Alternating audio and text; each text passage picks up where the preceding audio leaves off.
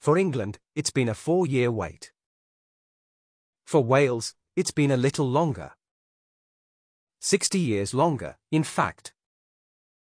The 2022 World Cup's opening day featured just one match, Ecuador's low-key win over hosts Qatar, but the action will be cranked up on Monday when Group B rivals England and Wales begin their respective campaigns. The three Lions, who face Iran have been desperate for another crack at football's biggest prize since falling at the semi-final stage in Russia four years ago. But when the Wales players walk out onto the pitch at Ahmed bin Ali Stadium to face the United States, it will be the realization of a 64-year dream. Simply put, it's said to be a massive day for both nations.